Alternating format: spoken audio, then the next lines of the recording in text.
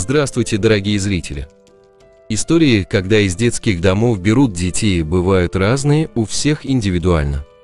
У некоторых все получается и живут душа в душу, кто-то не справляется с ответственностью. Кто-то мучается, но терпит, ибо не может допустить поражения.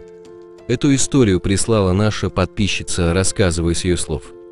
Мой муж некоторое время работал в приюте с детьми, которые были там временно, если родители исправлялись, то забирали их, и если нет, дети направлялись в детский дом. В приюте долгое время работала воспитатель Валентина, хорошая женщина, уже под 50, у нее был муж, сын-подросток. И однажды в приют привезли девочку 5 лет, Валентине ребенок сразу понравился. Она всю жизнь мечтала о дочке, но не получилось. И девочка тоже прикипела прям душой к женщине, ходила за ней, как хвостик, очень плакала, когда женщина уходила домой.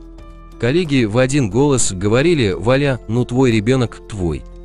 Женщина решилась ребенка взять к себе, собрала документы, да и семья была не против. Но через некоторое время Валентина вернула девочку обратно, муж поставил женщину перед выбором, либо ей сын, либо эта девочка. Все были потрясены, воспитатель просто пришла, привела девочку без объяснений, оставила. Кто видел эту сцену, не могли сдержать слез. Девочка кричала, плакала. «Мама, забери меня! Не бросай меня!» Но Валентина просто ушла с каменным лицом, даже не оглянулась, уволилась она сразу в этот же день с работы. Прошло много лет, муж приходит с работы и говорит, увидел Валентину в маршрутке. Они разговорились, и женщина рассказала, что та девочка, когда Валентина привела ее домой, очень маму ревновала. Буквально никому не давала приблизиться к женщине, на сына с кулаками бросалась, мужа вообще не воспринимала, абсолютно не слушалась его. Не знаю, сколько они держались и терпели, но последней каплей была такая картина. Валентина проснулась, а у изголовья стоит девочка, держит в руках ножницы и отстриженный пучок волос женщины. Что уж там она хотела с волосами делать, неизвестно, но тут уже муж поставил ультиматум «либо мы, либо она». Девочку потом перевели в детский дом, что с ней было, муж уже не знает.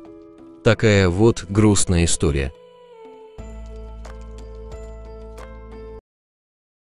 Мои дорогие зрители, если вам понравилось данное видео, оцените его лайком и напишите в комментарии ваше мнение, будет интересно почитать. Большое спасибо за просмотр, увидимся в следующих выпусках.